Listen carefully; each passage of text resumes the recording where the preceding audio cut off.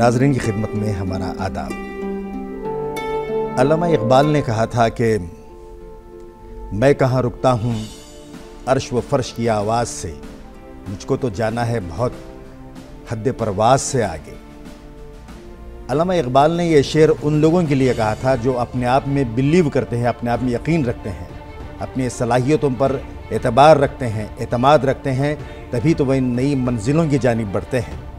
आज हमारे साथ स्टूडियो में एक खसूसी मुलाकात के लिए एक ऐसी ही शख्सियत है जिसने खुद पर भरोसा रखा और अपनी सलाहियतों के इस्तेमाल के लिए उसने नई राहें तलाशी और कामयाबियाँ उसके कदम चूमने लगीं। आज हमारे साथ हैं खुदसिया नज़ीर, जो उन्होंने स्पोर्ट्स की दुनिया में खसूसी तौर पर वेट लिफ्टिंग में उन्होंने न सिर्फ़ हिंदुस्तान का नाम रोशन किया है अपनी रियासत का नाम रोशन किया है, अपने गाँव का गली का नाम रोशन किया है, बल्कि सारी दुनिया में एक ऐसी वाहिद खातून महिला होने का भी उन्होंने रिकॉर्ड बनाया है कि जिन्हें अपनी प्रेगनेंसी के दौरान एक सिजरियन ऑपरेशन के बाद भी उन्होंने एक ऐसा रिकॉर्ड कायम किया कि वो 300 किलोग्राम का वज़न उठाकर उन्होंने एक रिकॉर्ड कायम किया है।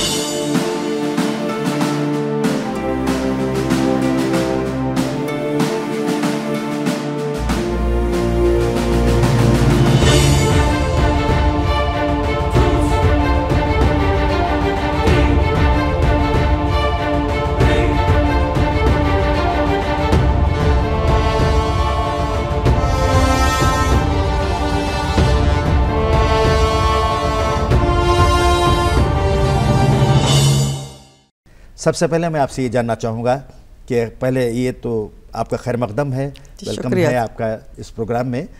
पहले अपने जो अर्ली लाइफ रही है जहाँ से आप वाबस्ता रही हैं उसके बारे में बताएँ कि किस तरह आपकी परवरिश हुई तालीम का सिलसिला और किस तरह ज़िंदगी आगे बढ़ती रही। जी मेरी पैदाइश बंगारपेट कोलार ज़िले में हुई थी। जी जी। और मेरी तालीम भी हाई स्कूल तक आई स्कूल में हुई। और उसके बाद गवर्नमेंट पीयूसी कॉलेज में मेरा पीयू हुआ। अच्छा। उसके बाद मेरा डिप्लोमा इन सॉफ्टवेयर एप्लीकेशन जो कंप्यूटर्स का होता है हम्म, हम्म, हम्म। वो तालीम हासिल करने के बाद जब मेरे 18 साल शुरू हुए थे तभी मुझे कॉम्पेशटी ग्राउंड पे जॉब मिल गया था क्योंकि जब मैं दो साल की थी मेरे वालिद का इंतकाल हो गया था। ओके जी, जी। तो सीनियरिटी में मेरा पहला नाम था। तो इसीलिए मुझे 18 साल में तो जॉब मिल कौन से डिपार्टमेंट में काम किया करते थे? जी के एस आर टी सी में ड्राइविंग इंस्ट्रक्टर थे। फिर मुझे कॉम्पेशटी ग्राउंड पे एडमिनिस्ट्रेशन सेक्शन में मुझे काम, काम मिला जी अच्छा, अच्छा हाँ, हाँ। तो सबसे पहले आपने कहाँ रिपोर्ट किया और कहाँ से ये सर्विस एंड करियर का आगाज़ हुआ आपकी? मेरा कोलार डिविजनल ऑफ़िस में एडमिनिस्ट्रेशन सेक्शन में मेरा अपॉइंटमेंट हुआ था। अब फ़िलहाल कहाँ आप काम कर रही हैं अब? जब मैं central office K S R T C जो सेंट्रल ऑफ़िस बैंगलोर में। बैंगलोर में। अच्छा अच्छा सारी कर्नाटका का हेडक्वार्टर्स है। जी। वहाँ काम कर जी वहाँ पे अकाउंट सेक्शन में काम कर जी जी। और तालीम का सिलसिला फिर आगे बढ़ा आपका कि जिस तरह आपने कंप्यूटर सॉफ्टवेयर वगैरह जो एप्लीकेशंस कर लिए फिर उसके बाद और आगे कुछ तालीम जी का मुझे बहुत दिलचस्पी थी पढ़ने में एजुकेशन में तो मैंने बीकॉम किया और एमबीए किया। अच्छा डिस्टेंस एजुकेशन यानी मुलाजिमत ज्वाइन करने के बाद भी जी जी। जारी रखा। अपने पैसों से मैंने खुद तालीम हासिल की। अच्छा। जी। तो ये स्पोर्ट्स से किस तरह का पैशन रहा आपका? फैसिनेशन रहा क्या पहले ही से सोच रखा था कि स्पोर्ट्स के मैदान में आप आएँगी और यहाँ कुछ कर दिखाएँगी कुछ ऐसा था ऐसा? जी नहीं था। मुझे पता ही नहीं था फिटनेस क्या होता है स्पोर्ट्स क्या होता है क्योंकि हमारे स्कूल में भी ऐसा प्रोविज़न नहीं था अच्छा। और कॉलेज में भी नहीं था। मुझे नहीं पता था लेकिन मुझे कुछ अच्छा लगता था। बचपन से ही स्पोर्ट्स में कुछ दिलचस्पी थी। जी जी, जी। लेकिन कहाँ तक जाऊँगी क्या करूँगी वो नहीं पता था। हमारे वालिद साहब जो थे वो नेशनल रेसलर थे। अच्छा। रेसलिंग में थे वो। हाँ हाँ हाँ। तो उनके मेडल्स घर में मतलब पड़े थे। थे हाँ, जी हाँ। जी तो जब भी मैं उनको देखती थी तो कुछ तो एक क्यूरियासिटी होती थी। क्यूरियासिटी का वो कुछ इंटरेस्ट आता था कि उन्होंने कैसे किया। हाँ हाँ जी जी जी। जी।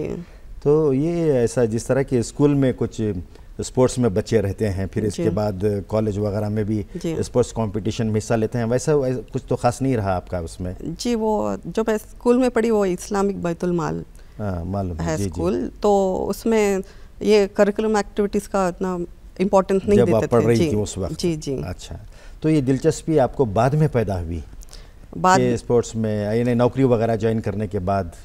जी मेरी शादी होके मुझे मेरा डिलीवरी हुआ। हाँ हाँ तो हाँ, मेरा बेटा बेटे पैदा हुए। हाँ हाँ। उसके बाद मैंने जिम ज्वाइन किया था। अच्छा हाँ, जी। हाँ, तो जिम सिर्फ़ फिटनेस के लिए या स्पोर्ट्स में आगे बढ़ने के लिए कुछ इस तरह का कुछ ऐसा प्लान नहीं जब मेरा सजरन सेक्शन से मेरा डिलीवरी हुआ था हाँ हाँ। तब मेरा 90 किलोस था वेट हाँ, जब। मेरा डिलीवरी हुआ तब। अच्छा। डिलीवरी के बाद एटी टू के था। तो हाँ, मेरा हाँ। ओवर वेट हो, होने की वजह से मैंने वेट लॉस करने की वजह से मैंने जिम ज्वाइन किया था। अच्छा। जी। तो फिर वो एक्सरसाइजेस करने के दौरान वर्कआउट करने के दौरान फिर ये दिलचस्पी स्पोर्ट्स के लिए कैसा पैदा हुई कि कोई ख़ास स्पोर्ट्स को आपने सेलेक्ट किया ये कैसा हो पाया? ये मेरे वालिद गुजरने के बाद हाँ हाँ। मैं तो एक मिडिल क्लास फैमिली की हूँ। जी जी। तो मेरी अम्मी सिर्फ़ 25 साल की थी जब हमारे वालिद साहब का इंतकाल हुआ था। जी हाँ जी हाँ। तब हम लोग मैं बहुत डिप्रेशन में थी। मतलब अच्छा। जैसे मेरी उम्र बढ़ती गई तो हम्म, हम्म। वालिद साहब की मुझे कमी बहुत महसूस होती थी। अच्छा तो हाँ, बचपन से ही डिप्रेशन में थी मैं। हाँ हाँ हाँ। पढ़ाई में अच्छी थी लेकिन हम्म। कुछ तो ये कमी की वजह से बहुत सारे दिक्कतें फेस करनी पड़ी लाइफ में। तो वो जो जो सबकॉन्शियस माइंड में जो था जो। डिप्रेशन था जो दर्द था जी जी। वो दर्द निकालने का एक रास्ता मिल गया। रास्ता मिल गया स्पोर्ट्स में अच्छा। जी। तो वेट लिफ्टिंग ही कैसा आपने इंतखाब किया? उसकी क्या कुछ रीज़न क्या उसकी वजह हो सकती है? जी मुझे अभी भी याद है हाँ हाँ। जब मैं जिम फ़र्स्ट दिन गई थी। अच्छा। तब जो बिगनर्स होते हैं हम्म, हम्म, वो जस्ट टू पॉइंट फाइव के में डम्बल में वर्कआउट करते हैं। जी जी जी। बट मैंने दस के में किया था। अच्छा। जी टेन के का डम्बल में मैंने वर्कआउट किया था। तो वो जहाँ वहाँ पे एक कोच थे वो लड़का था वो पूछ रहा था कि हम्म, मैडम आपने पहले वर्कआउट किया है? जी जी। मैंने कहा नहीं आज मेरा पहला दिन है। मैंने कभी अच्छा। जिम नहीं ज्वाइन किया था। हाँ हाँ हाँ। तो मुझे वहाँ से मतलब लाइट दिख रहा था वेट जब भी मैं लिफ्ट कर रही थी लाइट दिख रहा था। हम्म, हम्म, बहुत सारे जिम्स में मैंने वर्कआउट किया है। हाँ, जहाँ भी मैंने देखा है कि मेरे मुकाबले में कोई लड़की नहीं होती है। अच्छा जी जी जी। जी जब लेटर ऑन एक चार साल के बाद जिम ज्वाइन करने के चार साल के बाद जब मैं हम्म, अ, लड़कों को वर्कआउट के लिए मेरे साथ बुलाती थी सर आइए वर्कआउट कीजिए। हम्म, हम्म, हम्म, तो वो मुझे मना करते थे। वो बोलते थे कि नहीं मैडम हम आपके जितना वेट उठा नहीं सब नहीं, नहीं पाते तो हम लोग आपके अच्छा। साथ वर्कआउट नहीं करेंगे। तो ये ज़्यादा जो वज़न आपने उठाना बिगनिंग ही से शुरू किया जी। तो फिर उसके बाद आपके हौसले बढ़ते गए। कि आप इसी स्पोर्ट्स में कुछ कर दिखा सकती हैं तो कैसे फिर सिलसिला आगे बढ़ता रहा जब मुझे पता चला कि हाँ, हाँ। अच्छा मुझे एक रास्ता मिल गया है मेरा दर्द निकालने के लिए मैं डिप्रेशन से बाहर आने का रास्ता जब मुझे मिल गया अच्छा तब मुझे नहीं पता चलता था कि मैं कितना वेट उठा पा रही हूँ okay. या मैं आगे कहाँ तक जाऊँगी हम्म, हम्म, हम्म, फिर एक दिन एक बॉडी बिल्डर ने मेरे जिम में उन्होंने नोटिस किया मैं बहुत ज़्यादा वेट लिफ्ट कर रही थी अच्छा। तो उन्होंने कहा मैडम ऐसा स्पोर्ट्स आता है जिसमें लेडीज़ कॉम्पीट कर सकती हैं। जी जी जी। जी तो आप वहाँ पे गोल्ड गोल्ड ही मिलेगा आपको गोल्ड मेडल ही मिलेगा तो आप जाइए कॉम्पीट करें। हाँ, तो हाँ। उससे पहले मैं 2016 में जो डिस्ट्रिक्ट लेवल होता है गवर्नमेंट की तरफ़ से जो ऑर्गेनाइज किया जाता है उसमें मैंने ऑलरेडी मेडल पाए थे। अच्छा। फिर जो कॉम्पिटिशन था हमारे डिपार्टमेंट में with in the with in the Kolar जी डिवीज़न जी जी। तो वहाँ पे भी हर साल मेरे एटलीस्ट एक पाँच तो प्राइजेस होते थे हम्म, हम्म, हम्म। लाइक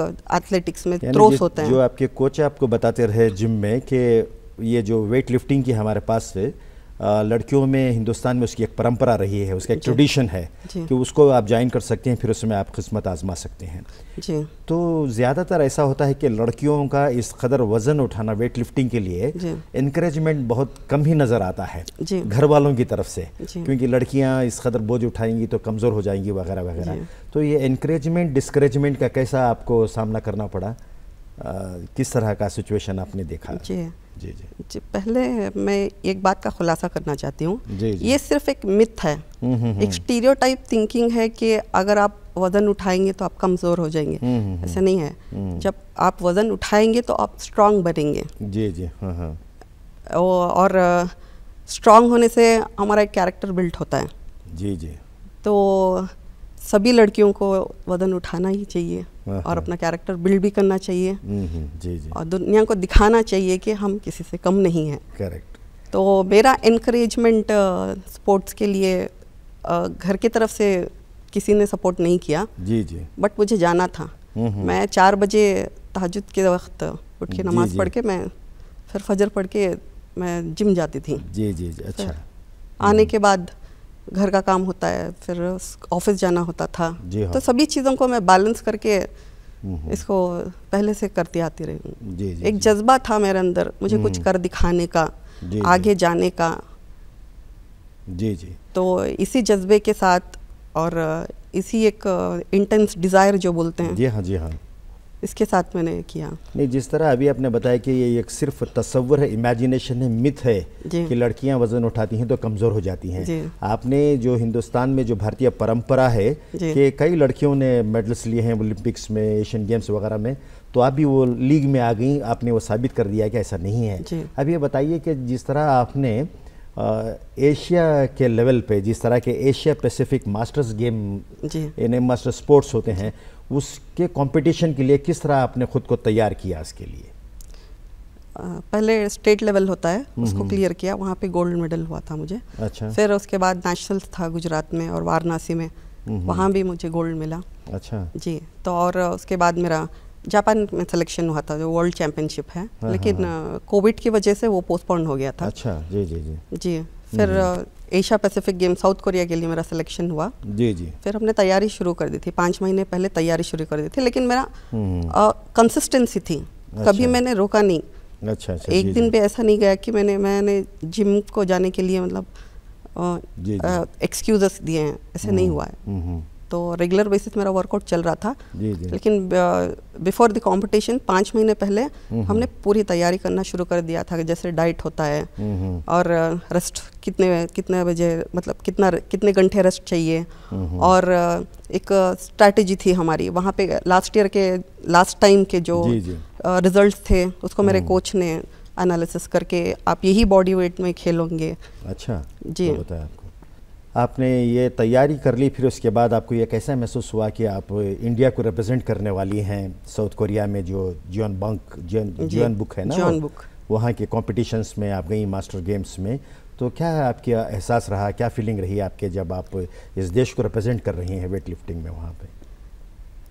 जी मुझे मुझे बहुत अच्छा महसूस हुआ। हाँ हाँ। और एक मेरा एक मुझे एक पेट्रियाटिज़म जो होता है वो मेरे अंदर बहुत ज़्यादा है जज्बा हम्म, कि हमारे हिंदुस्तान के लिए कुछ करना है मुझे क्योंकि मुझे एक, एक अच्छी सिटीज़न बन के दिखाना है। हम्म, जब तक आप कुछ करके दिखाएँगे नहीं तो आपको लोग मानेंगे नहीं। बिल्कुल।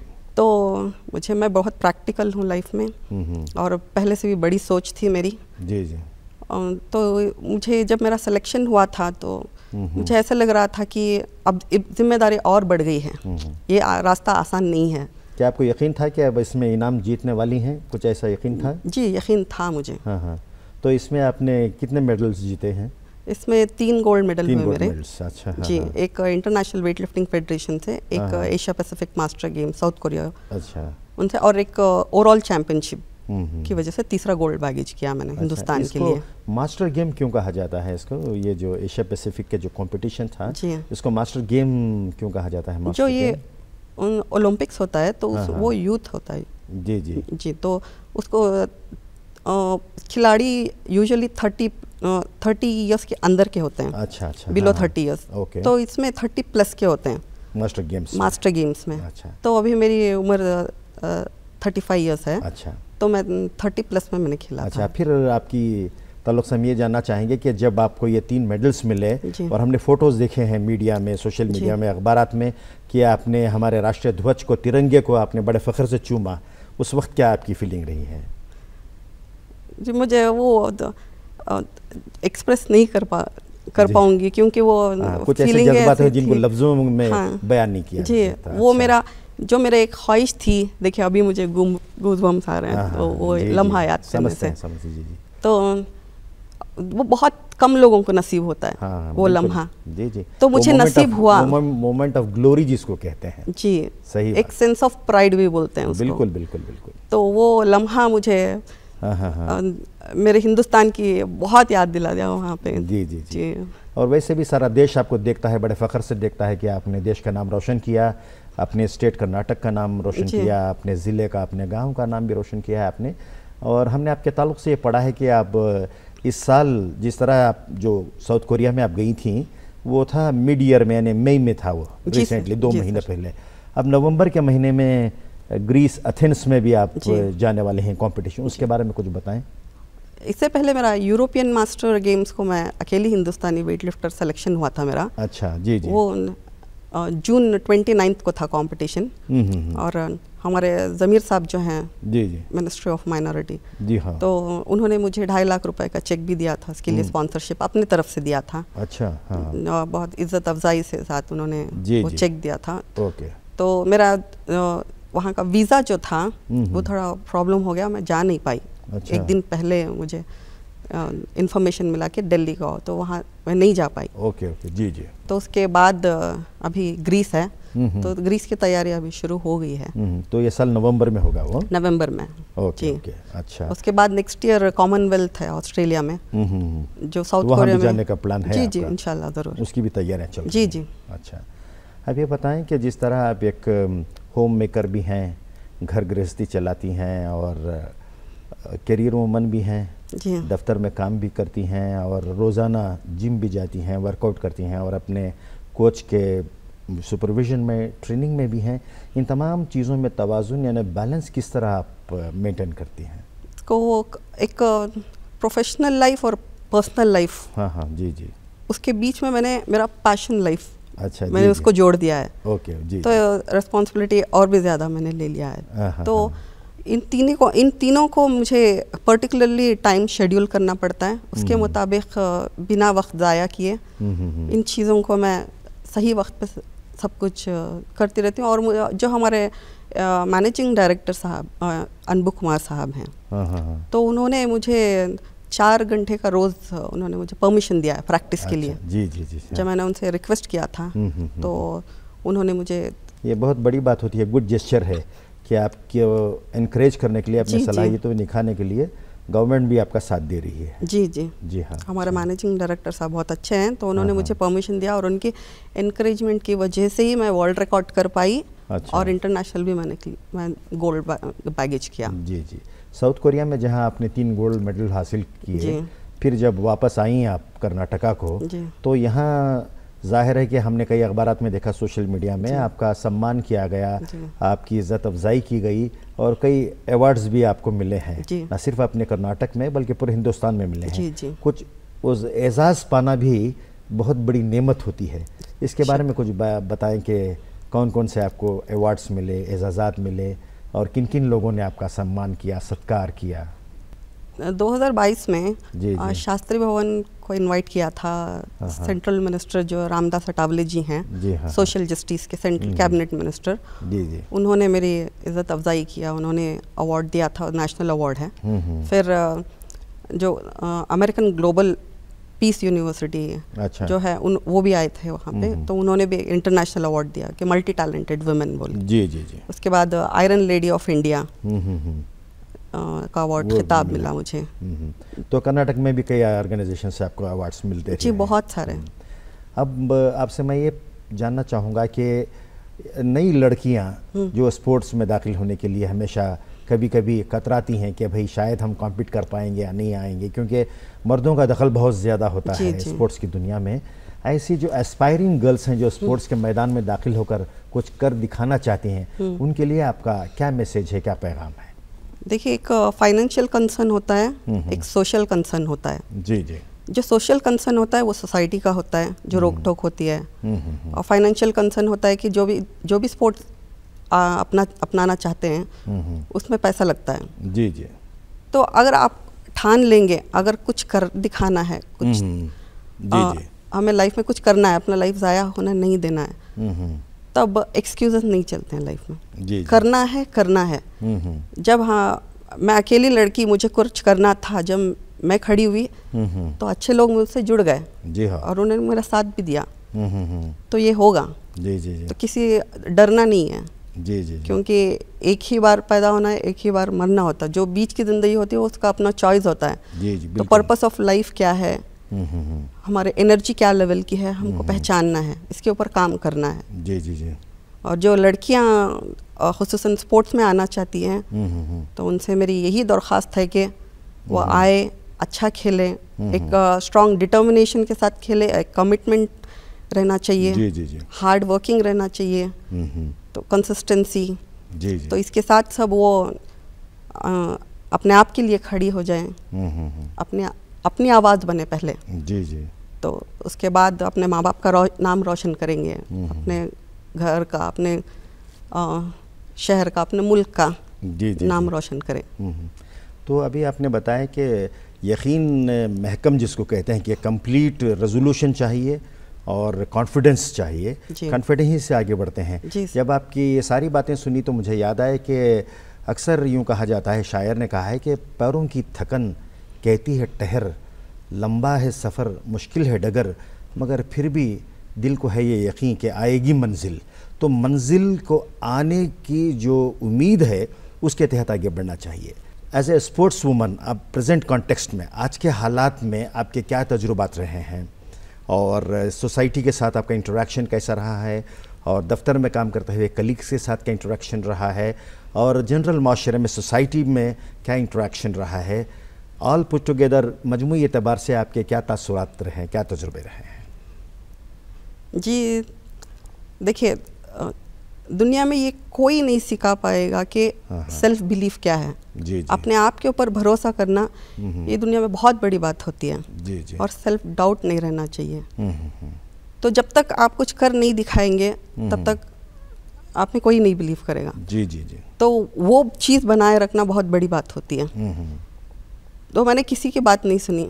लोग बहुत ताने मारते थे। जी जी। घर से सपोर्ट नहीं था। हम्म, हम्म, और ये ऐसा स्पोर्ट्स है it is one of the expensive sports और toughest sports in the world है। हाँ हाँ। तो इस इसको मुझे पैसों का भी किसी ने सपोर्ट नहीं किया। सिवाय मेरी एक ट्विंस बहन है वो दुबई में है अभी। हम्म, तो उन्होंने मुझे फाइनेंशियली बहुत सपोर्ट किया है। अच्छा। अर्शा नज़ीर है उनका नाम। अच्छा जी जी। जी तो वो जो हमारी माशरे की लड़कियाँ हैं हम्म, हम्म, हम्म, तो उनको किसी की बात नहीं सुनना है। सिर्फ़। अपना पैशन अपनी आवाज़ सुनना है। अंदर की जो आवाज़ होती है जो वॉइस ऑफ़ कॉन्साइंस बोलते हैं जी जी जी। तो उसको पहचानना है उसको सुनना है और आगे बढ़ते रहना है। जी जी। तो अब ये बताइए कि जिस तरह आपने कहा कि आपने ज़मीर की आवाज़ को सुनना है और आगे खुद रास्ते खुद अपने बना लेने। हैं और ये आमतौर पर यह समझा जाता है कि भाई ये स्पोर्ट्स के माहौल में लड़कियों के लिए कुछ अलग अलग किस्म की परेशानियाँ होती जी, हैं। जी। इन तमाम चीज़ों पे काबू पाने के लिए कि किस तरह का मज़ीद और डिटर्मिनेशन की ज़रूरत पड़ती है? कि मैं तहजद की नमाज़ पढ़ती हूँ। हाँ हाँ हाँ। और सिर्फ़ सिर्फ़ अल्लाह से रब्ता रखती हूँ। यानी अपने आप पर एतबार की बात कर रहे हैं सेल्फ कॉन्फिडेंस की बात कर रहे जी, हैं। जी। हाँ हाँ जी जी अपना एक, एक सेल्फ कंट्रोल होता है जो विल पावर बढ़ाने की बात कर रही हूँ मैं। जी जी हाँ। जो एक स्पोर्ट्समैन में रहता है। हम्म, हम्म, एक एथलीट का माइंडसेट टफेस्ट माइंडसेट होता है। हम्म, हम्म, हम्म, तो उस माइंडसेट के लिए अपना विल पावर बहुत ज़रूरी है सेल्फ कंट्रोल बहुत ज़रूरी है। अच्छा जी जी। तो हमारे वालिद गुजर जाने के बाद हम्म, हम्म, हम्म, हमारे घर की हालत बहुत ख़राब थी। जी जी। बहुत गरीबी देखा है हमने। हम्म, हम्म, हम्म, और बहुत तंगदस्ती थी। और किसी ने सपोर्ट नहीं किया। जी जी जी। तो ये माहौल जब मैं मतलब देख के मैंने यहाँ तक स्ट्रगल इतना बहुत स्ट्रगल लाइफ में देखा है। तो उसके बाद मुझे सोसाइटी में किसी की बात नहीं सुनना था। किसी ने सपोर्ट नहीं किया। अच्छा। अगर किसी ने सपोर्ट किया होता तो मैं उनकी बात सुनती थी लेकिन मुझे किसी ने सपोर्ट नहीं किया। बिल्कुल बिल्कुल। तो इसी वजह से मैं यहाँ तक पहुँच पाई और मेरा वर्ल्ड रिकॉर्ड जो है सजरन सेक्शन के बाद मैंने हम्म, तीन सौ किलो वज़न उठा के हम्म, वर्ल्ड रिकॉर्ड ऑस्ट्रेलिया का world wide book of record में मेरा नाम दर्ज कराया पे कहता है कि जो जिनके पास सीज़न सेक्शन होता है उनको बोझ नहीं उठाना होता है। जी। मगर आपने तो वो कर दिखाया। जी। तो आप पहली खातून हैं जी। पूरे दुनिया, दुनिया में में। कि जिन्होंने ये रिकॉर्ड किया। जी। अब हम इस मुलाकात के आखिरी पड़ाव पे पहुँचे हैं। जी। तो मैं ये चाहूँगा कि कुछ आप अपने कोच के बारे में बयान करें कि किस तरह उन्होंने आपको मज़ीद और आगे बढ़ने के लिए हौसला बढ़ाया आपका। जी। जब से मैं कंपटीशन जाना शुरू किया था मैंने 2018 से मेरे कंपटीशन शुरू हुए थे तो उसके बाद मैं कोच का फ़ीस अफोर्ड नहीं कर पा रही थी हम्म, हम्म, क्योंकि उसका फ़ीस बहुत ज़्यादा होता है। ट्रेनर जिसको कहते हैं पर्सनल ट्रेनर जिसको कहते हैं। तो अमानुल्ला मोहम्मद अमानुल्ला जो हमारे अभी कोच हैं वो डेढ़ साल पहले मुझे रिसेट कोरमंगला की जिम में उन्होंने हम्म, हम्म, हमारी मुलाकात हुई थी। अच्छा। मैं बहुत ज़्यादा वेट लिफ्ट कर रही थी तो उन्होंने मुझे आके पूछा कि आपका इंटेंशन क्या है? Aim क्या आपका है क्या एम क्या है? गोल क्या है? उन्होंने पूछा। तो मैंने कहा मैं इंडिया रिप्रेजेंट करने जा रही हम्म, हूँ तो उनको बहुत खुशी हुई और उन्होंने कहा कुछ भी अगर मेरे से सपोर्ट आपको चाहिए तो ज़रूर। उनसे मिलता है। या। हम्म, हम्म। तो उन्होंने आज तक भी से एक रुपया चार्ज नहीं किया है। अच्छा। तो डेढ़ साल भी उन्होंने मुझे फ्री ट्रेनिंग हौ- दे के हौसला बढ़ाया आपको। जी। वो मतलब एक ऐसे जज्बे के तहत कि आप आगे बढ़ें तो वो उनकी सर्विसेज़ रही हैं आपके लिए। इसमें उनका बहुत बड़ा हाथ है। हाँ, क्योंकि एक मेरा एक कॉन्फिडेंस लेवल जो था एक एक पड़ाव पे आके रुक गया था। हम्म, हम्म, तो उन्होंने बूस्ट किया। अच्छा। और उन, उनको मुझ पर यकीन था कि मैं गोल्ड बागेश करूँगी गोल्ड मेडल जी जी जी। जी। बड़ी खुशी की बात है और आज हमारी खसूसी मुलाकात में आप आए और हमारे नाजरीन के लिए ख़ुद अपने बारे में अपनी ज़िंदगी के बारे में किस तरह आपको मुश्किल का सामना करना पड़ा। नशोब फराज से गुज़रे मगर हमेशा आपका पख्ता यकीन था अतमाद था और वो जोश था जो हमेशा आपको नई मंजिलों की जानब लेता गया आप नई आसमानों की तलाश में हैं कामयाबियाँ कदम आपके चूम रही हैं और मज़ीद कामयाबियों को गले लगाने के लिए आप बेताब हैं मैं हमारे तमाम देखने वालों की जानब से भी आप अपनी नेक ख्वाहिशात पेश करते हुए बेंगलोर दूरदर्शन चंदना की जानब से भी आपका शुक्रिया अदा करता हूँ। शुक्रिया। जी शुक्रिया।